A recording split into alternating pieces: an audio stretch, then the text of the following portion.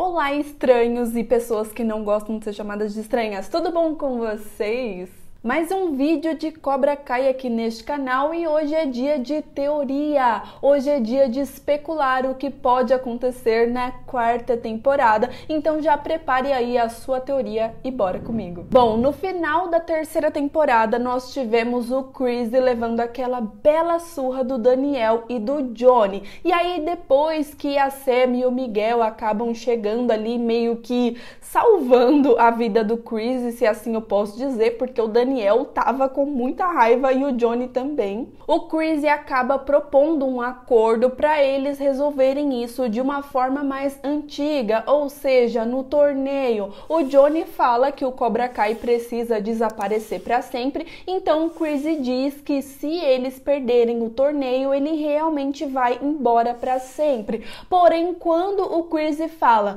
mas e se vocês perderem, o Johnny não deixa ele terminar a frase e fala que eles não vão perder. Mas e se perder? E se Cobra Kai de alguma forma é, vai querer deixar o Chris pelo menos uma vez na vida ser o vencedor? Hã? Eu acho que, obviamente, o Daniel e o Johnny juntando as suas forças, eles podem sim ganhar do Chris. Isso seria a coisa mais óbvia para a história. Mas e se eles quiserem ir para um caminho não tão óbvio assim? Eu fiquei me questionando isso porque assim, se eles realmente ganharem, né, o torneio e o Chris for embora, o que pode acontecer em uma possível quinta temporada? Qual seria a história? O Johnny pegaria o Cobra Kai de volta e aí com isso ele voltaria com a sua rivalidade com o Daniel? Eu acho que isso não seria tão viável assim para esse ponto na história, porque o Daniel e o Johnny, apesar de terem se juntado ali contra o Chris, os dois já estão crescendo e amadurecendo há bastante tempo. Então essa junção dos dois é uma coisa muito importante para a história dessa série série. E voltar atrás, na minha opinião, pode ficar meio forçado, meio chato, meio repetitivo, não sei. Eu sei que eu já tô indo muito longe, afinal a quarta nem saiu ainda, mas o que pode acontecer? Sei lá, o Terry Silver ser o grande vilão da quinta temporada para poder vingar o Crazy. Só que aí eu acho que isso poderia ser uma coisa bem repetitiva, afinal de contas já aconteceu em Karate Kid 3. Ou será que se ele perder, o Crazy não vai querer saber e não vai embora de jeito nenhum, ou ele sai do Cobra Kai e cria outro dojo não sei, existem muitas e muitas e muitas possibilidades, meus caros. Mas aí também fica na nossa cabeça, pelo menos na minha fica, o que será que o Chris ia falar antes do Johnny interromper ele? Hã? Eu acho que se ele ganhar, ele vai querer tomar conta do Miyagi-Do, porque o Chris, ele nunca superou tudo o que aconteceu com o Sr. Miyagi, com o Daniel, dele ter perdido tantas vezes assim né? Toda vez que ele tem oportunidade, ele ressuscita esse assunto, ele tenta fazer alguma piadinha, ele fala alguma maldade em relação ao Sr. Miyagi, mas isso para mim é porque ele não superou tudo o que aconteceu. Então, com certeza, ele ia querer tomar o Miyagi-Do para poder destruir tudo aquilo que o Sr. Miyagi construiu e enfim ter a sua vingança contra ele e o Daniel. Mas na quarta temporada, obviamente, o Chris não estará sozinho. Afinal de contas, nós vimos aquela ligação misteriosa, né, entre aspas, porque eu acho que está muito óbvio que o Chris estava ligando para o senhor Terry Silver. Nós tivemos nessa temporada vários flashbacks do Chris no exército, que foi uma treta muito interessante de assistir, e eu acho que esses flashbacks aconteceram não somente para a gente conhecer a história do Chris e como ele ficou ruim, mas eu acho que esses flashbacks flashbacks também foi meio que uma apresentação ali ao senhor Terry Silver. Reparem que bem no final, ali no último episódio, eles focam bastante naquela fala do Silver para o Chris, jurando lealdade, falando que qualquer coisa que ele precisasse, ele estaria ao seu lado para o resto da vida. Não sei se vocês lembram disso, mas lá em Karate Kid 3,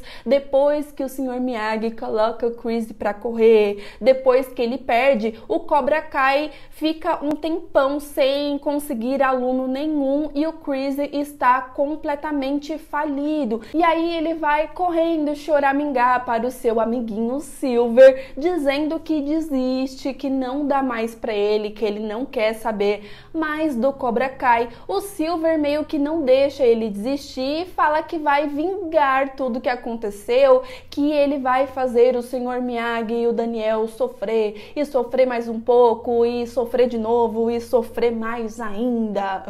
e é exatamente isso que ele faz, né? Eu não sei vocês, mas eu acho o Silver um pouquinho pior que o Chris. É claro que os dois ali estão meio que lado a lado, mas o Silver, ele realmente conseguiu aterrorizar em Karate Kid 3, apesar de não ser o meu preferido aí da desses filmes e tal, ainda é muito bom, mas o Silver, ele conseguiu meio que dar uma balançada até mesmo na relação do Daniel com o Sr. Miyagi. Lembram que o Daniel entrando no Cobra Kai e aí o Silver consegue destruir ele meio que fisicamente quanto psicologicamente também. O jogo psicológico que ele faz com o Daniel é absurdo. Treta que se você reparar bem também está acontecendo com o Rob, porque o Chris também conseguiu fazer a cabeça dele ali contra o Johnny e o Daniel. E o Rob entrou em Cobra Kai da mesma forma que o Daniel também entrou em um momento de total desespero. Então, com certeza, nessa quarta temporada de Cobra Kai, nós teremos muitas e muitas e muitas referências a Karate Kid 3. Os próprios criadores da série, eles já disseram que basicamente todos os personagens de Karate Kid que em algum momento já teve a sua história cruzada com o Sr. Miyagi tem possibilidade de aparecer em Cobra Kai,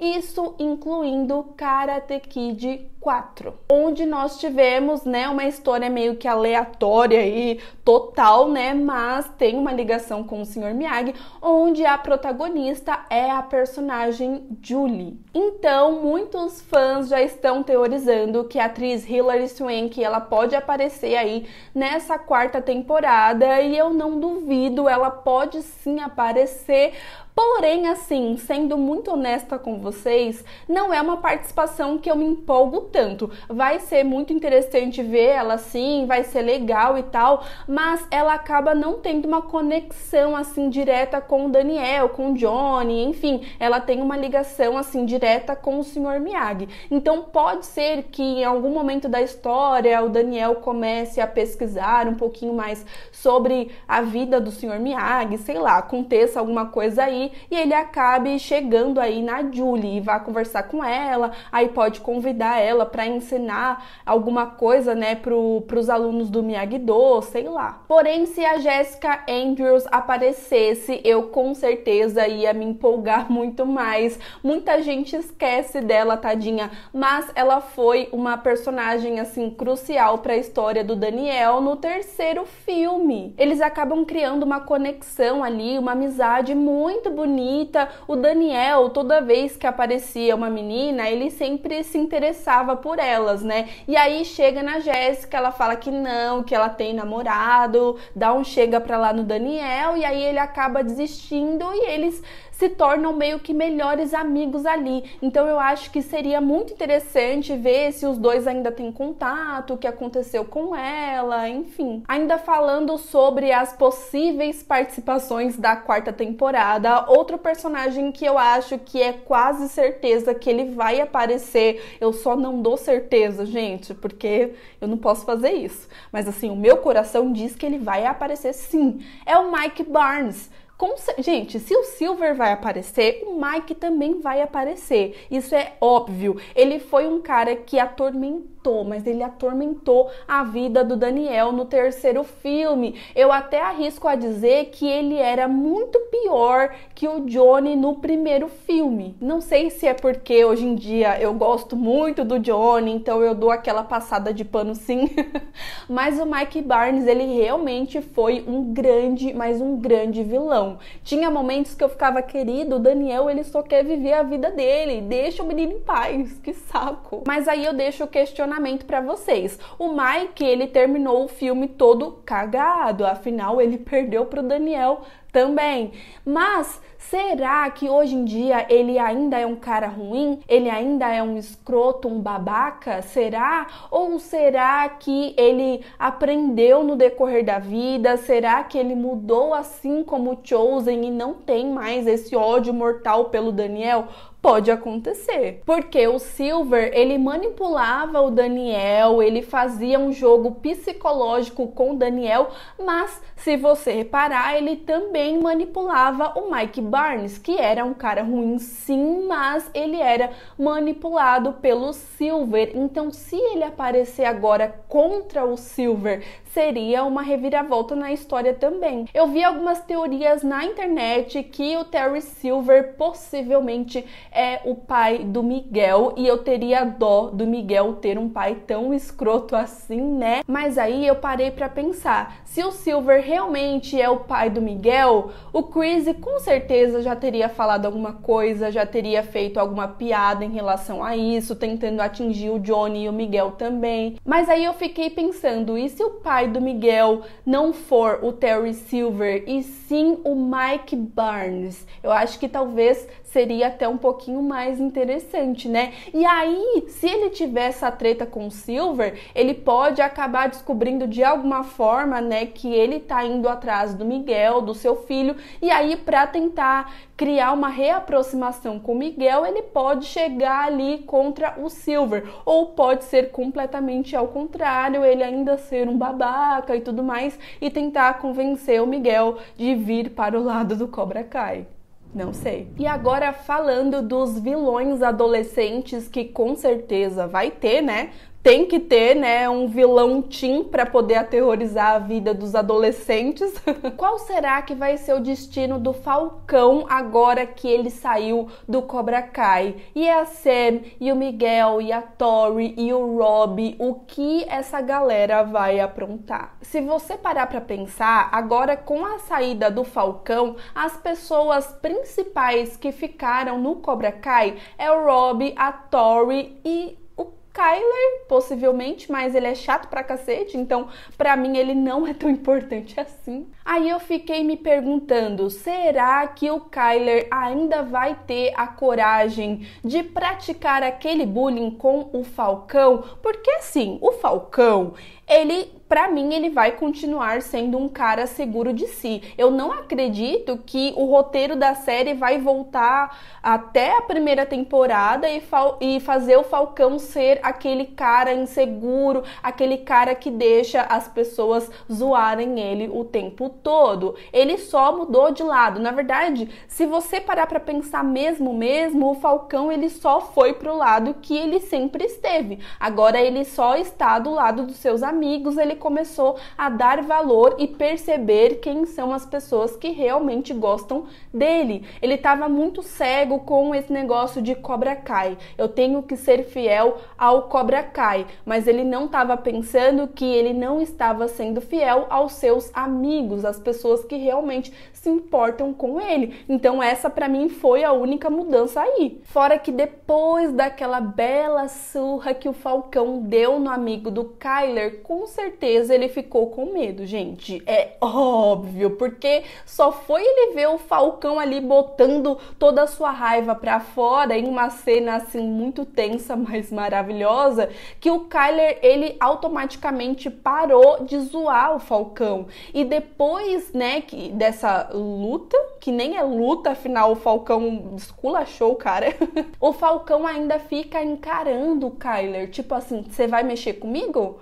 É comigo mesmo que você vai mexer e fazer piadinha, seu nojento? Então, eu não sei se o Kyler vai ter aí, né, a cara de zoar o Falcão. Pode ser que ele tente mas só tentar mesmo. Sobre o Rob e a Tori, eu acho que eles vão se tornar uma grande dupla aí nessa quarta temporada e até arrisco a dizer que eles vão começar a se envolver romanticamente falando mesmo, mas eu acho que não vai ser nada muito sério, tipo de se apaixonar um pelo outro, pelo menos a princípio não. Eu até Acho que eles não têm muita química, mas pode ser que eles comecem a se pegar ali, sabe? Só uma coisa de ficar mesmo. Afinal de contas, é muito óbvio que nem o Rob superou a Sam e nem a Tori superou Miguel, né? Mas em relação a Tori, eu acho que a história dela vai muito mais, muito mais, muito além do que a gente imagina e eu acredito que ela tem uma ligação direta com Karate Kid e possivelmente a quarta temporada será a temporada que nós teremos um foco maior nessa personagem. Vocês já repararam que eles fizeram um certo mistério em relação à identidade da mãe da Tori? Hã? Vocês repararam isso? E por que que eles iam fazer esse mistério? Por que não mostrar o rosto dela? Porque é claro não posso dar certeza também, mas eu acho que com certeza é alguém que a gente já conhece. Então eu me arrisco a dizer que a mãe da Tori é a Julie de Karate Kid 4 ou possivelmente é a Jéssica de Karate Kid 3. Eu acho que sendo a Jéssica seria muito mais interessante, porque isso possivelmente ia dar uma treta talvez maior entre ela e a Sam. Porque se o Daniel descobrir que a sua amiga Jéssica tá muito doente, possivelmente ele vai tentar ajudar. Eu fiquei até pensando aqui em algum momento a Tori ter que ficar por um tempo na casa do Daniel e da Sam, e isso pode trazer sim uma aproximação entre as duas, mas isso também pode fazer elas tretarem ainda mais. Por isso que para mim seria tão interessante assim que a Jéssica seja a mãe da Tori ao invés da Julie, porque a Jéssica conseguiria fazer essa ligação com Daniel, a Sam e a Tori também. Enquanto o Rob, eu acho que ele ainda pode acordar para a vida no final da quarta temporada. Não acredito que ele vai ficar do lado do Chris por muito tempo. Eu sempre falo isso e vou continuar falando. Não existe personagens ruins e bons, é, vilões e tal. Cobra Kai é uma série que mostra os personagens passando por fases, momentos ruins, momentos bons, tendo decisões boas, decisões ruins. É normal, faz parte da vida. Quantas decisões ruins você já tomou na sua vida?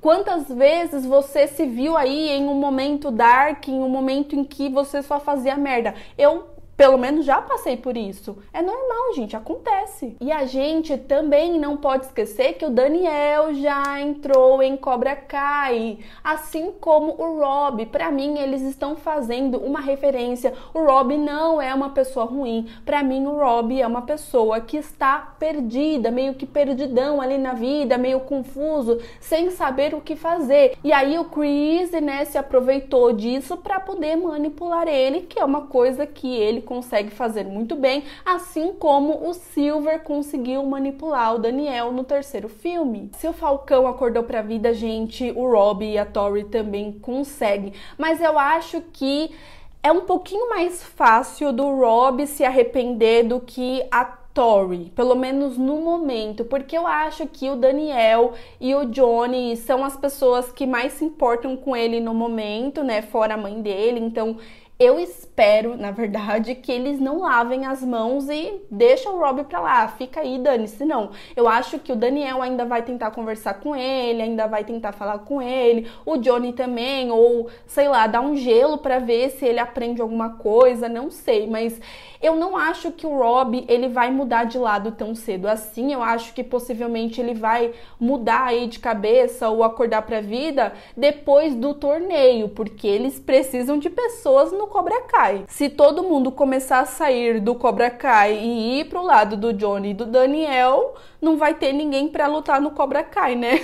a não ser que entrem novos personagens aí nessa quarta temporada para poder dar aquela terrorizada e entrar no Cobra Kai. Aí tudo bem. Sobre o Johnny e o Daniel ali comandando um dojo juntos, é incrível, é maravilhoso, é um acontecimento assim histórico para a história desta série. Mas vocês não acham que vai ser tão fácil assim, né, gente? Pelo amor de Deus, eles eles dois são muito diferentes. Eles tretam por uma coisa assim boba, briguinha de quinta série mesmo. Eu acho que não são tretas tão graves como com o Chris, por exemplo, ou possivelmente com o Silver que vai entrar. Já estou contando que ele vai entrar assim. Mas com certeza nós teremos muitos momentos engraçados em relação a esses dois encenando juntos. Eles têm técnicas diferentes, eles têm pensamentos diferentes, culturas diferentes, então o negócio vai ser insano com toda certeza. Eles vão ter que juntar todas essas diferenças em uma coisa só para poder passar para os seus alunos e com certeza isso vai nos trazer momentos muito, muito, muito engraçados. Escrevam o que eu tô falando. Essa temporada pode ser ainda melhor que a terceira. Mas e você? Qual que é a sua teoria? Comenta aqui embaixo que eu quero muito, muito, muito saber. Ninguém tá certo, ninguém tá errado. Mande aí a sua teoria, seja criativo, viagem, tá? Ninguém ainda tem certeza do que vai acontecer ou não na quarta temporada. Eu tenho certeza que o Silver vai aparecer. E o Mike Barnes também. Isso eu tenho certeza. Mentira, não posso afirmar, mas eu tenho certeza. eu estou com grandes expectativas para essa quarta temporada de Cobra Kai. Se a Netflix quiser liberar a temporada ainda esse ano, minha filha, fica à vontade, tá? Não vou ligar, com toda certeza. É uma das minhas séries preferidas da atualidade. Eu tô aí vários dias postando vídeo de Cobra Kai, mas amanhã eu vou postar o último vídeo pelo menos por enquanto, tá bom? Pra gente focar em outras séries, mas hoje tem vídeo de Cobra Kai, amanhã ainda tem mais um e aí depois a gente pensa em outras séries, tá bom? Porque eu estou respirando Cobra Kai dos últimos dias, desde que eu comecei a assistir a terceira temporada, na verdade.